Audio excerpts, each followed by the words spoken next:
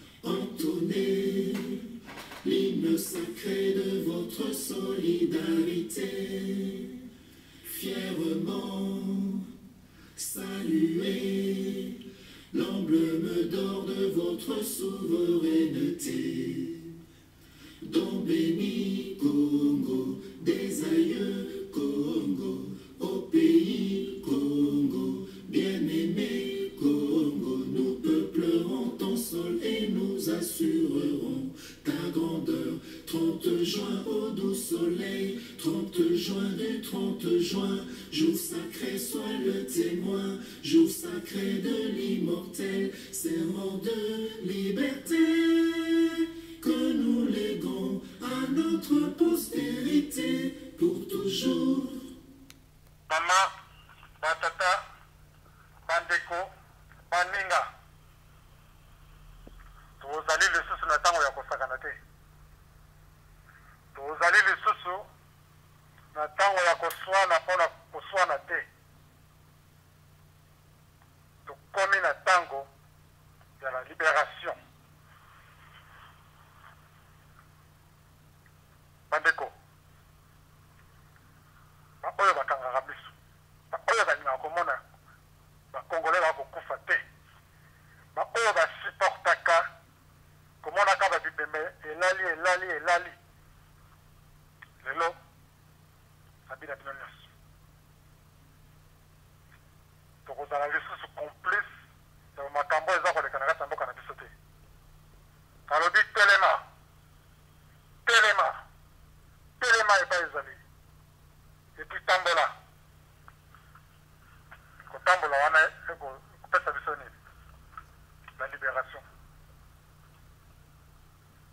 Tozali kokende lokola bomoko, tokotambola lokola moto moko mpo na koloba likambo moko.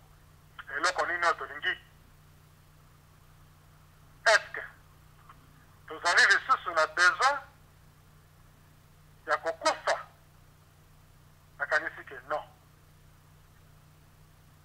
Yango wana nalobi na bino boye. Le 30 juin, na bisika mosusu ekosalama le 28, bisika mosusu ekosalama le 29, ngai nalobi le 30 juin, na est, ouest, nord, sud du Congo, moto nyonso amibengami Congolais, Oyo mais nionso amiyebi ke azalaka congolais esengi ke atelema mokolo wana akotelemela bangunia nionso oyo bazali na kati ya mboka na biso mpo na koloba na bango ke babima bakende tokobengana bango biso nionso toza na bezana minduki te tokoselemela bango mpo te babima na kati ya mboka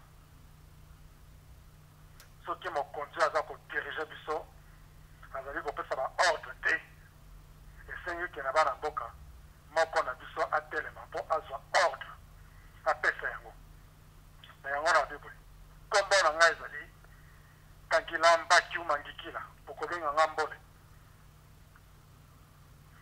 nalobi boye baoyo baza na kati ya ntili baoyo bazali na kati ya gombe na Kasavubu, na Matonge, bisika nyonso ya Congo, baoyo bavandi na Bas-Congo, baoyo bazali na Equateur,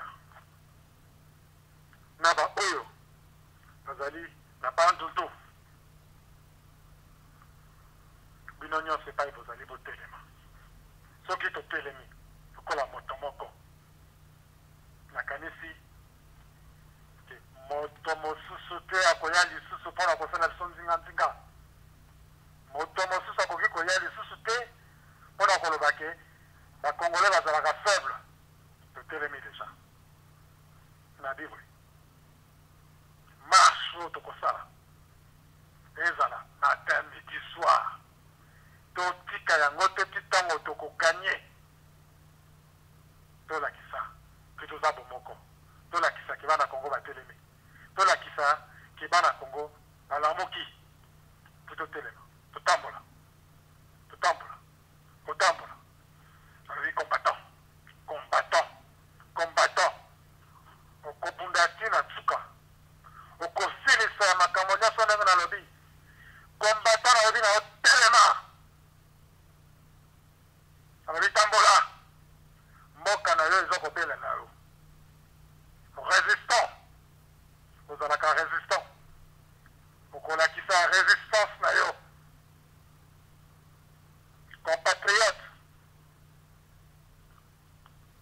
ezali kaka te mpo na koloba te nazalaka compatriote mpo olakisa compatriote na yo ezali mpo na nini eske ezali mpo na kotalaka makambo eza koleka ya kromosoma to kotelemelaka mpo na makambo ya mboka nalobi na otelema telema epuis kotika te tina suka